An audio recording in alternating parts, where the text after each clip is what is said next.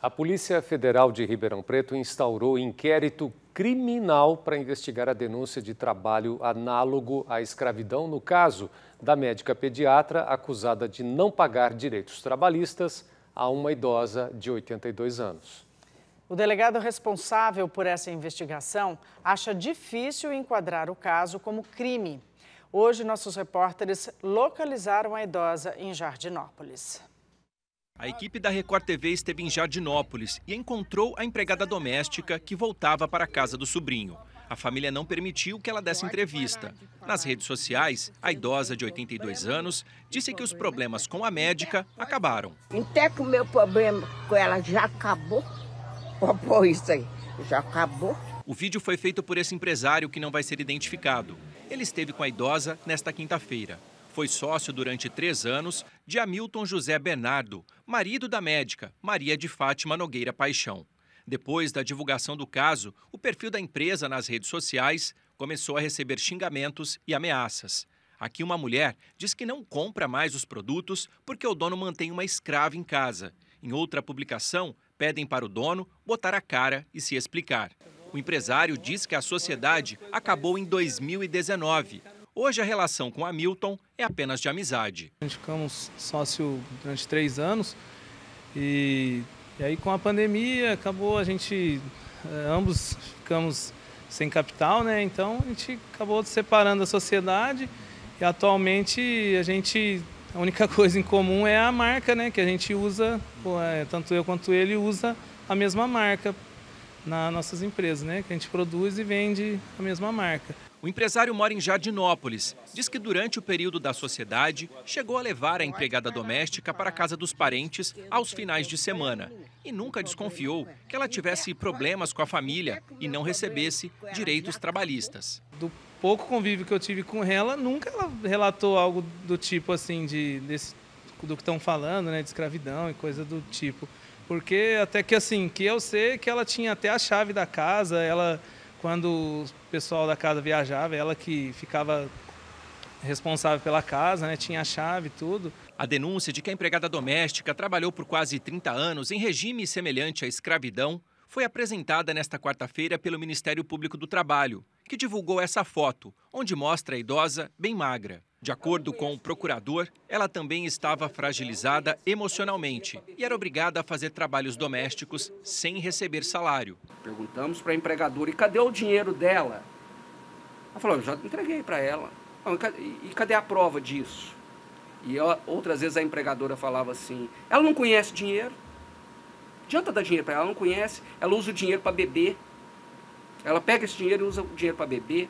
A casa onde ela trabalhava teve muro pichado. A residência é da médica Maria de Fátima Nogueira Paixão. Ela era pediatra da prefeitura. Aposentou em 2017. Recebe por mês 14 mil reais. Segundo a auditora do Ministério do Trabalho, a médica ainda tentou impedir o resgate da idosa no dia 27 de outubro. Nós fizemos a abordagem ao domicílio, procuramos conversar com a trabalhadora, fazer a identificação dela e a empregadora, em um primeiro momento, ela tentou embaraçar a fiscalização de todas as formas que ela conseguiu. Ela ordenava que a trabalhadora adentrasse a residência, ela não permitia que a trabalhadora mostrasse os seus documentos, ela inclusive chegou a colocar a trabalhadora dentro do carro e sair com essa trabalhadora do local numa tentativa de embaraçar de fato ali toda a nossa atuação, mas nós utilizamos então todas as medidas legais que tínhamos à nossa disposição, solicitamos a intervenção da polícia. Segundo os procuradores em depoimento, a empregada doméstica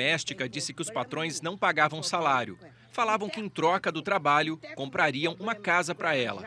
A Record TV mostrou que a Justiça do Trabalho bloqueou mais de 800 mil reais em contas e bens do casal.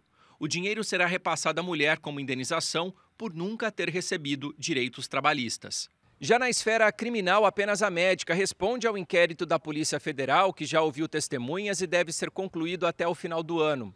O delegado Marcelo Pereira conversou com a produção da Record TV. Ele disse que, apesar da denúncia feita pelo Ministério Público do Trabalho, até o momento as provas não são suficientes para configurar crime de trabalho análogo à escravidão.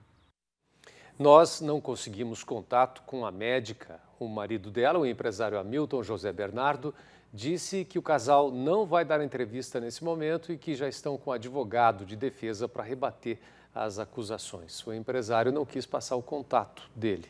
A Polícia Federal informou que não há sigilo decretado nesse processo. O Ministério Público Federal decide, depois da investigação, se vai denunciar a empresária, a médica, por crime. A Prefeitura de Jardinópolis disse que a família está sendo acompanhada pelo município, junto com o Ministério Público do Trabalho. A Prefeitura de Ribeirão Preto afirma que a médica é funcionária aposentada e que não vai comentar esse caso porque a médica não trabalha mais para o município. Eu vou conversar agora ao vivo com Rafael Pasquim, que fez a reportagem, e está com uma advogada trabalhista para explicar um pouquinho mais dessa diferença das investigações desse caso. Boa noite para você, Pasquim. Boa noite, Pasquim. A gente pode começar explicando se um processo trabalhista pode dar prisão, né? Oi, Flávia. Boa noite. Boa noite, Chico. Boa noite para todo mundo que acompanha o SP Record. Processo trabalhista não dá prisão. Normalmente, a Justiça do Trabalho acaba aplicando multas né, nos empregadores, penhorando bens desses empregadores para que eles possam, então, né, ser usados no pagamento das indenizações aos trabalhadores. Quem está aqui comigo e vai nos ajudar a esclarecer um pouco dessas dúvidas é a doutora Mariana Temporini Amorim. Doutora, muito obrigado pela presença aqui no SP Record. Então, quer dizer que normalmente, né, ou em todos os casos, processos trabalhistas acabam dessa maneira, em multas e indenizações. Boa noite, Rafael. Exatamente. Na Justiça do Trabalho se busca o recebimento dos direitos trabalhistas. Já a parte de penalidade, prisão ou multa é algo que vai ser analisado no âmbito da Justiça Criminal. Doutora, nesse caso que a gente está acompanhando aí dessa idosa, né, para o Ministério Público do Trabalho existe aí esse, esse crime né, de trabalho análogo à escravidão. É, bens foram bloqueados do casal, cerca de 800 mil reais. O que, que acontece normalmente? Esse dinheiro ele vai em totalidade para os trabalhadores, ou no caso aí para essa trabalhadora. Como é que a justiça vai definir também se tem aí, vai fazer um cálculo né, do que ela deveria receber? Depende do caso, né? Pode ter, pode acontecer de parte do valor ser destinado ao INSS para pagar a parte previdenciária, porque ela não teve nenhum recolhimento, e o restante para a trabalhadora. Quer dizer que ainda pode ter essa divisão, ir para o INSS e uma parte para ela? Pode sim. Doutora, agora ela tem 82 anos, né? Falando desse caso aí em específico, ela tem 82 anos, tem aí essa indenização para receber agora. A Justiça do Trabalho leva em consideração essa idade, né? Tem algum tipo de agilidade por causa da idade? Sim, o processo ele tem o que a gente chama de tramitação preferencial, ou seja, ele anda um pouco mais rápido, mas não só pela idade, mas também pela característica do processo. Porque quando o processo ele é relacionado a trabalho análogo à escravidão, ele tem essa tramitação mais rápida. Agora, doutora, aproveitando aí que a senhora falou do trabalho análogo à escravidão, né, para o Ministério Público existe aí, como eu disse, o crime né, de trabalho análogo à escravidão. É, mas ainda para a Polícia Federal, né, o delegado afirma que ainda não tem indícios suficientes para poder caracterizar esse tipo de crime. Lembrando, como a gente disse na reportagem, que o inquérito ainda não foi concluído, né, ainda tem a previsão de ser concluído até o final do ano. Né? De acordo com as leis trabalhistas, o que, que caracteriza né, esse trabalho semelhante à escravidão?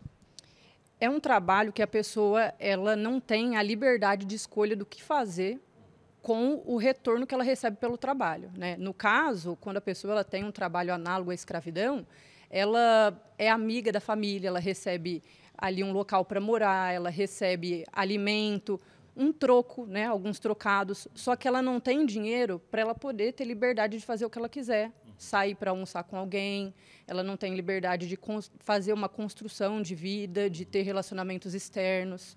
Normalmente, é, a pessoa que vive essa situação, ela às vezes não consegue até mensurar isso, né? já que ela acredita ter uma relação de amizade, de fazer parte da família. Com certeza, né? É uma questão até psicológica, porque a pessoa ela acredita mesmo que faz parte da família.